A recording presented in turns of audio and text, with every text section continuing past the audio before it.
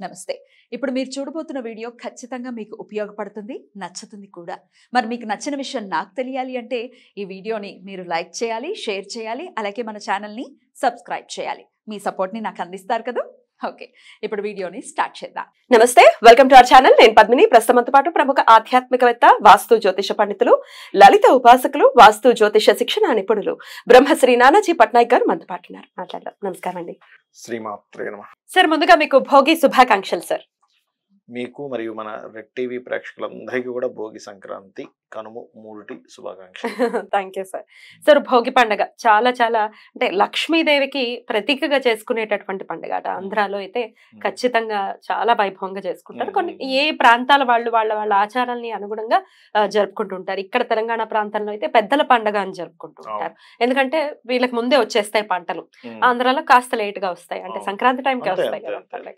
భోగి అసలు ఎలాంటి అందరికీ తెలిసినప్పటికీ ఎలా చేసుకోవాలి భోగిని ఇంకా తెలియకుండా నిగూఢంగా దాగి ఉన్నటువంటి విషయాలు ఎన్నో ఉన్నాయి.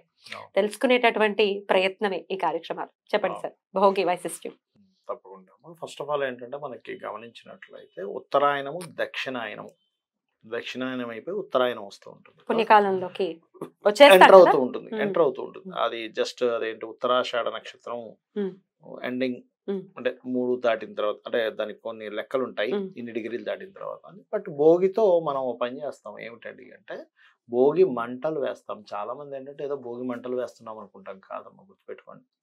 ఇంట్లో ఈ దక్షిణాయనం అయిపోయి ఉత్తరాయణం వస్తుంది అన్నప్పుడు ఇంట్లో పనికిరానటువంటి పాత వస్తువుని తీసుకెళ్ళి కాల్చేసేయాలి శాస్త్రాల్లో ఇప్పుడు ఎలా అయిపోయిందంటే ఇంట్లో పెద్దవాళ్ళు ముసలి వాళ్ళు ఏమో ఇంట్లో ఉండాలి వస్తువు పడేసేయాలి. ఇవాళ రేపు ఏంటంటే వస్తువుని పెట్టుకుంటున్నారు. ప్రారంధం కర్మ. రాక కష్టాలు. శాస్త్రంలో చెప్పబడింది. నీకు పాత పాతగైపోయిన వస్తువుని బయటపడేయమని చెప్పింది. పాత వాళ్ళని ఇంట్లో పెట్టుకోమని చెప్పింది. మరి మనం పాతగా అవ్వమా? అదే కదా. అవుతాం. మనం ఏం చేస్తే మనకు అదే వస్తుంది. ఎందుకు అంటే ఈ దక్షిణాయనం ఉత్తరాయణం ఉంది కదా. ఈ దక్షిణాయనంలో ఏదైతే విరిగిపోయినటువంటి వస్తువు ఏదైతే ఉందో అది ఉత్తరాయణంలోకి వెళ్ళినప్పుడు కంటిన్యూ అవ్వకూడదు ఇంట్లో. ఒక విరిగిపోయిన వస్తువు ఉంటుంది చూసారా? ఏ టేబుల్లో కుర్చో విరిగిపోయింది ఇంట్లో. దాన్ని రిపేరు చేయించకుండా కొన్ని రిపేర్ చేయించుకుని వాడుకుంటే నో ప్రాబ్లం ఇంట్లో అవసరం ఉంది కాబట్టి. అలా పడేస్తాం మనం. అదేమవుతుందంటే విరిగిన వస్తువు ఆ జోన్ని రూల్ చేస్తూ ఉంటుంది. అంటే ఉదాహరణకి పడమరలో పడేసాం విరిగిపోయిన వస్తువు ఏదో.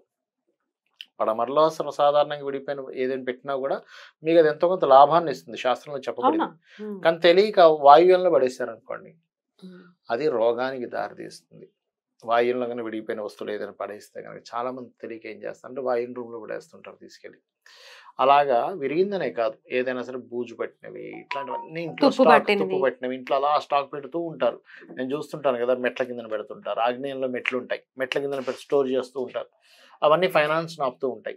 కొంతమంది బిల్డింగ్ మీద బిల్డింగ్ కన్స్ట్రక్షన్ అయిపోయిన తర్వాత కొన్ని చెక్కలు ముక్కలు అన్నీ ఉంటాయి. అవన్నీ అవి వాడరు అసలు జీవితంలో వాటి జోలికే పోరు. ఒక ఇరవై సంవత్సరాలు. అవలాగా ఉంటాయి. అటువంటివి ఇంట్లో ఉండడం డేంజర్. అది కూడా. ఉత్తరాయణ దక్షిణాయనాల్లో దక్షిణాయనం మొత్తం మీ ఇంట్లో ఉండే ఉత్తరాయణం ఎంటర్ అయ్యేటప్పుడు కూడా మీ ఇంట్లో ఉంది అంటే దాని యొక్క నెగిటివ్ ఎనర్జీ మీకు పెరుగుతుంది. పెరుగుతుంది. ఇప్పుడు ఇల్లు మారటానికి కాటన్ బాక్సులు అవి కూడా పెట్టుకుంటుంటారు దాచుకుంటూ ఉంటారు. మళ్ళీ ఈసారికి ఉపయోగపడుతుంది. అది? వేరు అది?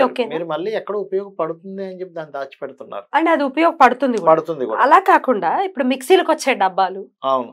గ్రైండర్లకు వచ్చే డబ్బాలు అవి కూడా దాస్తూ ఉంటారు. అంటే మీరు షిఫ్ట్ అయ్యే అవసరం పడుతుంది. ఇప్పుడు ఇది ఎవరికైనా ఏదైనా బాక్స్లో కట్టి ఇవ్వడానికి అవసరం పడుతుంది దట్ ఈస్ ఫైన్ నేను అనేది ఏంటంటే పాడైపోయింది. ఉపయోగపడట్లేదు కానీ దాన్ని దాన్ని దాయిపెట్టి ఇది ఇప్పుడు ఇది పాడైంది కాదు డబ్బా. డబ్బా ఏంటంటే మీరు ఇంకెవరికైనా ఇవ్వడానికి ఒక పదార్థం పెట్టి ఇవ్వడానికి మీకు అదొక ప్యాక్ లాగా ఒక కవర్ లా సో పనిచేస్తుంది దాన్ని ఉంచుకోవచ్చు. ఉంచుకోవచ్చు. ఈ స్టీల్ డబ్బాలు ఉంటాయి సార్ తుప్పట్టినవి తుప్పట్టినవి ఇరిగిపోయినవి.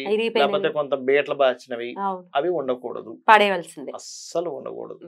అది దోషము అని చెప్తారు శాస్త్రంలో. రైట్ సో అవి కంపల్సరీ భోగి మంటల్లో వేసేసేయాలి. లేదా ఏ స్టీల్ సామాన్ల వాళ్ళకి స్టీల్ వేయలేం కదా ఇనప Mm. వేయలేం అన్నప్పుడు స్టీల్ సామాన్లు అమ్మేసేయండి కనీసం. అది ఒకటి చేయాలి. రెండవది ఏమిటంటే భోగి మంటలు అండ్ గొబ్బెమ్మలు పెడతాం మనం. అది కూడా స్వచ్ఛమైనటువంటి ఆవు మయంతో. మయంతో గనక పెట్టినట్లయితే లక్ష్మీప్రదము అని చెప్తుంది. శాస్త్రం. ఎందుకంటే గోమయంతో ఎవరు సార్ చేస్తుంది? గ్రీన్ కలర్ ఏదో వస్తోంది.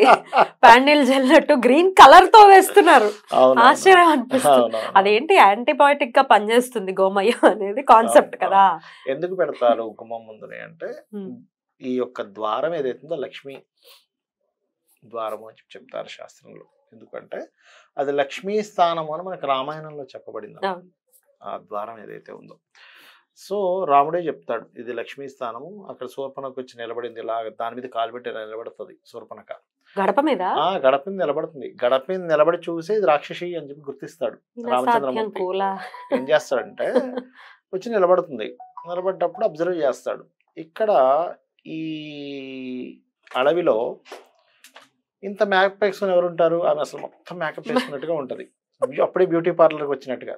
సో కామరూపిణి. కామరూపిణి. ఎందుకంటే మన మునిశ్రీ ముని పత్నిలో మునిశ్రీలో అక్కడ ఉండేటువంటి చేసుకున్న ఆ పరిచర్యలు చేసుకునే వాళ్ళైతే ఈ గెటప్లో ఉండరు.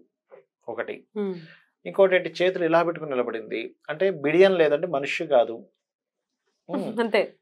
ఇంకోటి ఏంటి గడప మీద నిలబడ్డారంటే? గడప మీద నిలబడ్డారంటే మనుషులు నిలబడరు అలాగా. లక్ష్మీ స్థానం అని తెలుసు. రాక్షసులే చేస్తారు ఈ పని. కాబట్టి తను రాక్షసి అని గుర్తుపడతాడు. అందుకని ఆ గడపకి ముందు ఆవుమయంత ఎందుకు పెడతారు అంటే ఇక్కడ మీరు నక్షత్రాలను కనుక కరెక్ట్గా గమనించినట్లయితే ఇక్కడ నుంచి మీరు చూడండి ఉత్తరాషాఢ ధనస్థానం నుంచి స్టార్ట్ అయింది కదా?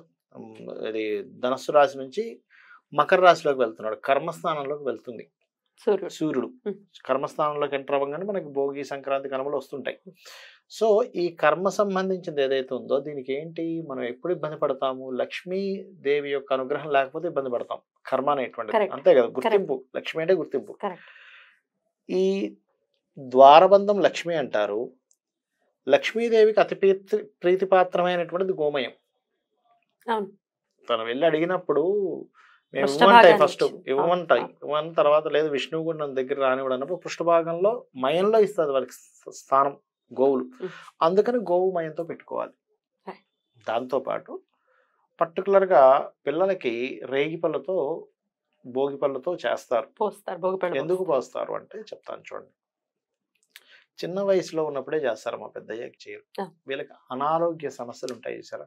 బాలారిష్టాలు అంటారు. ఈ బాలారిష్టాలతో పోవడానికి బాగా తోడ్పడుతుంది. భోగి పళ్ళతో కనుక చేస్తే ఇది రేగి పళ్ళతో కనుక చేస్తే ఎందుకంటే రేగి పళ్ళకి సన్ సూర్య భగవానుడికి సంబంధం ఉంటుంది. ఆదిత్య హృదయం చదువుతూ లేకపోతే లలితహాసనామాలు చదువుతూ వేస్తారు. లేకపోతే ఏదైనా ఒక విష్ణు సహస్రనామాలు కానీ చదువుతూ వేస్తే ఏమవుతుందంటే వాళ్ళకి అనారోగ్య సమస్యలు ఏదైనా రావాల్సింది ఉంటే పోతుంది. అందుకని భోగి పళ్ళతో వేస్తారు. బ్యూటిఫుల్ దిష్టి తీసినట్టు తీసి వేస్తారు. అదో. అద్భుతమైన సరదా. చాలా బాగుంటుంది చక్కగా. ఇది. ఇంకోటి ఏంటి దాని తర్వాత రేగి పళ్ళు తింటారు. రేగి పళ్ళలో ఎన్ని విటమిన్ సి ఎంత పుష్కలంగా విటమిన్ సి ఉంటుంది. చిన్నపిల్లలకు కానీ తల్లికి కానీ కావాల్సిన విటమిన్ సి. చిన్నపిల్లలకి ఎదుగుదలకు కావాలి. ఎగ్జాక్ట్లీ రోగ నిరోధక శక్తి విపరీతంగా. ఉంటుంది. రైట్ సార్ ఎందుకు అంటే ఈ విటమిన్ సి వేటి వేటి ద్వారా వస్తుంది? సూర్యకిరణాల ద్వారా వస్తుంది. ఈ రవి భగవానుడు ఏమవుతాడంటే మకరం తర్వాత మకర రాశిలోకి ఎంటర్ అయ్యేటప్పుడు తను శని రాశిలోకి ఎంటర్ అవుతున్నాడు. శని రాశిలోకి ఎంటర్ అయ్యేటప్పుడు ఈ కాలం ఏ కాలం? చలికాలం. సూర్య భగవానుడి యొక్క ఇది రావడం తగ్గుతుంది. తగ్గుతున్నప్పుడు విటమిన్ సి మనం ఇంకో రూపంలో ఏ రూపంలో తీసుకోవాలి? రేగిపల్లి రూపంలో తీసుకోవాలి. ఎంత ఎంత నిగూఢంగా దాగి ఉంది సైన్స్ అనేది. చూడండి అసలు ఎంత పర్ఫెక్ట్గా ఉంటుందో బ్యూటిఫుల్గా ఉంటుందో. అందుకని రేగి పళ్ళతో ఇంకా చాలా ఉన్నాయి ద్రాక్ష పళ్ళతో రేగి ద్రాక్ష పళ్ళతో ఎందుకు చేయరు? రేగి పళ్ళతోనే ఎందుకు చేస్తారు? ఖర్జూరు ఉంటుంది ద్రాక్ష పళ్ళు ఉంటుంది ఇన్ని ఉంటాయిగా రేగి పళ్ళలో ఉన్నటువంటి గుణం అది. అట్లా. దాని గురించి చేస్తారు. అది. అయితే ఇప్పుడు పిల్లలు కాదు పిల్లలు. భోగిపళ్ళు పోసేటటువంటి పరిస్థితి అంతా ఏం లేదు.